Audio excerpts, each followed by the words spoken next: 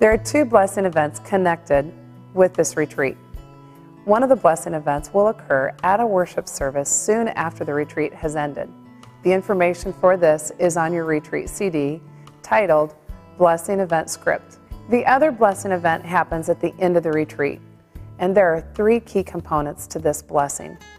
In the first component, the daughters will gather in a circle, linking arms with one another in the middle of the room, and they will face outward. Moms will then gather around the daughters and hold hands in a circle surrounding them.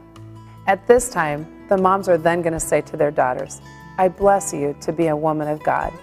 You are cherished, be pure, and be faithful to the end. This is a great picture for the daughters because it is the picture of the body of Christ. The moms are gathered holding hands, and they're there to support each other, just as the daughters are holding hands with other daughters that have committed to be pure.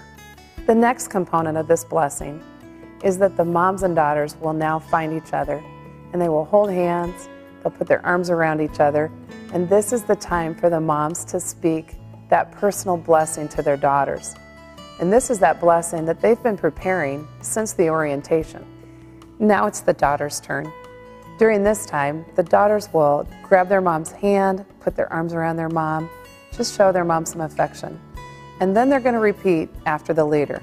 They're going to say, Thank you for cherishing me. I love you. Thank you for showing me how to be pure. Thank you for following Jesus so that I can follow him too, all the days of my life. And now the leader will instruct the daughter to say a few words to their mom personally either to bless them or to show their appreciation to them. Be prepared for a lot of tears, a lot of laughter, and a lot of hugs. This is a very touching moment between mom and daughter, something that they're going to remember for a long time to come.